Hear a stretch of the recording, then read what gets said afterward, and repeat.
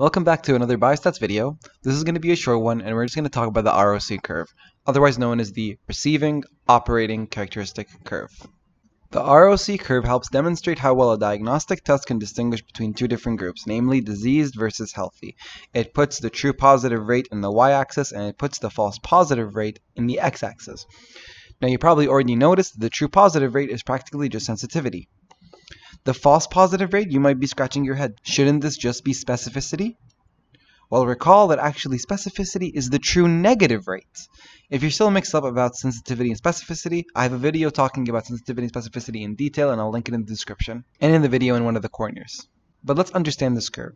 What this curve is trying to say is that as we keep going up, sensitivity is getting better.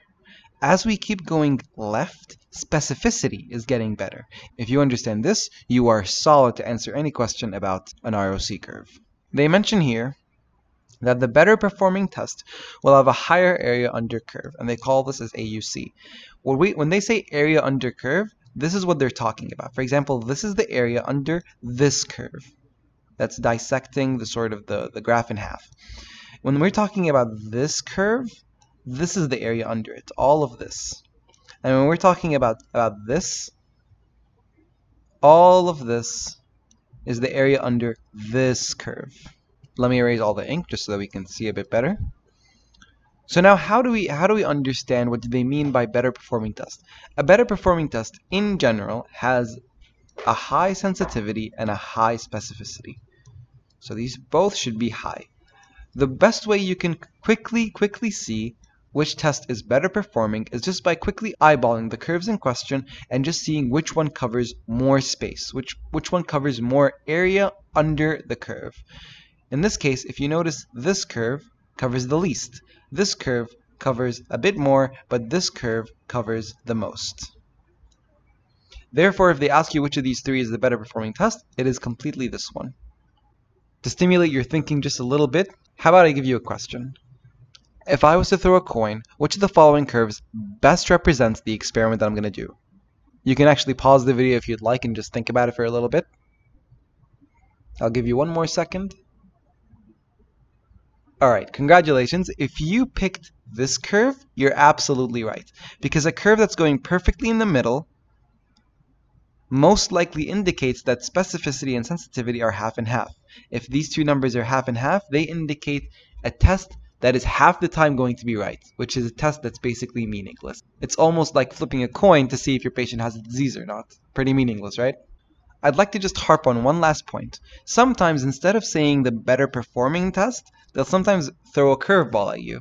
They'll tell you which of the following curves best represents the ideal test that we need to use for a screening test and sometimes they might say a confirmatory test.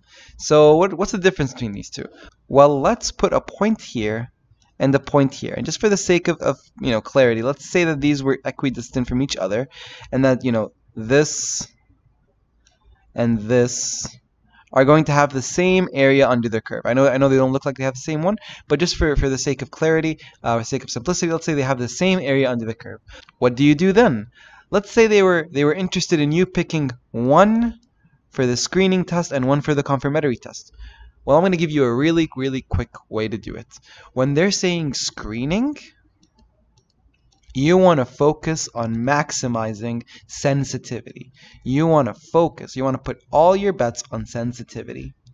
So you're going to pick the highest point. In this case, this is the highest point.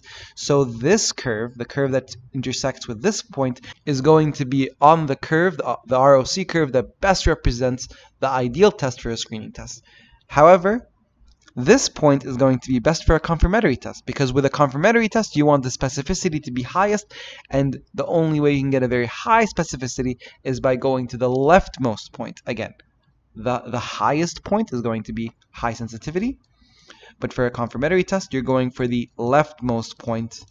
So you're going to go left. Confirmatory, you're going to want to increase specificity. By going left here, by going up the highest point, the leftmost point. With that said, you should be good to answer any question about the ROC curve, hopefully. I hope you benefited from this short video. Consider liking and subscribing. And as always, thanks for watching.